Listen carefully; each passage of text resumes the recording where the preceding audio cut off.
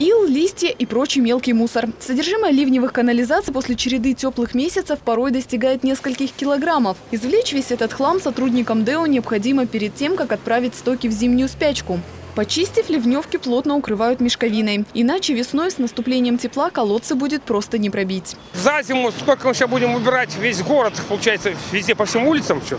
Получается, когда будут посыпать ну, от, отсевом, и получается до весны набьются все колодцы, легкие, ливневые приемники набьются все полные. Потом вода не уйдет.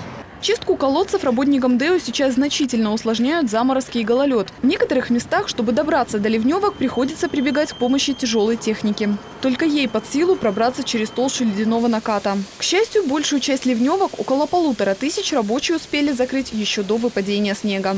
До ноября месяца сделали почти на 90%, так как пошел снег, мы и, ну, снег потом он растаял, некоторые пришлось открывать, чтобы вода сбежала.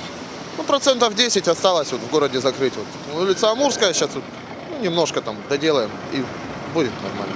Самая сложная работа специалистов ДЭО ожидает на окраинах города и в частном секторе. Ливневки там обычно до отказа забиты не только опавшей листвой, но и всевозможным бытовым хламом. А в некоторых местах специалистам необходимо еще и заменить решетки на колодцах на новые. Если этого не сделать сейчас, шансы весной обнаружить вместо колодца выгребную яму возрастают в разы.